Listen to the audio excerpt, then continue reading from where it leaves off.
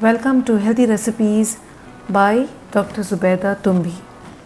Being a nutritionist, I always feel that we should learn about easy to make quick recipes, healthy recipes, both veg and non-veg. So many chicken lovers and so many requests. So this is a easy recipe which will taste better than a takeout. It has an aromatic quick marination and has three easy steps. I have used chicken breast. Friends, chicken protein is easy to digest because it does not have too much collagen but being loaded with B vitamins especially thiamine, vitamin B6, pantothenic acid and minerals like iron, zinc and copper. This high protein recipe can be so easy to make. So the marination we've used fresh thyme. This time I have taken the fresh thyme the leaves and the stalk, chopping it up and then blending it with ginger, garlic and lime with a bit of pepper and salt.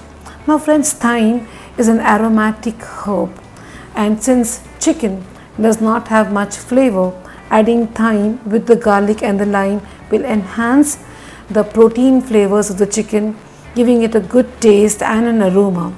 Adding pepper, ginger and lime helps in digestion so this quick marination with a teaspoon of sesame oil will give the chicken a very tender and easy to chew feel. So chicken breast, I've taken two chicken breasts, each chicken breast is around 200 grams.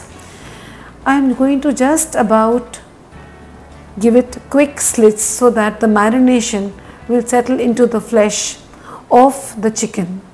So we are going to rub in our thyme, garlic chicken and lemon marinade.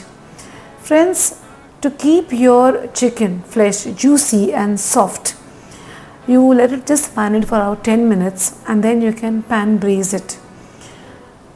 Proteins are always well digested when they are marinated because this, this will help in pre-digestion. So lime, ginger, garlic with thyme are wonderful together. Let it rest for some time. Meanwhile, we are going to prepare our pan for the recipe using a stainless steel double bottomed AMC cookware helps me in lowering my cooking time and also saves on my fuel. Putting a teaspoon of my sesame oil, I first let it cook for say 5 minutes and then turn it over. Another 5 minutes my chicken breast is ready to serve. The herb thyme which is fresh gives us antioxidants like thymol and flavonoids like zeaxanthin packed with vitamin A, K, E and B. This adds to the nutrition value of this lovely chicken recipe. Do try and let me know.